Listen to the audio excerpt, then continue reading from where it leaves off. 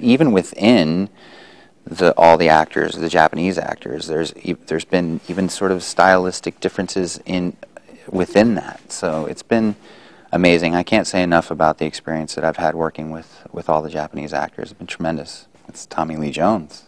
I mean, it's been great. It's been fantastic. And, uh, you know, when I was told that he was playing MacArthur, I just, you know, I just thought, wow, that's such a fantastic choice. I mean, the minute you see that, you're like, I really can't think of anybody else. A job like this is is my favorite kind of job where I get to do something that I'm very challenged by, that I'm very passionate about, and I also get to learn some history. You know, history seems to continue to repeat itself, and um, I, I hope that maybe on some subconscious and deep and secret part of all of us that as we evolve into the future that we won't make the same mistakes over and over again.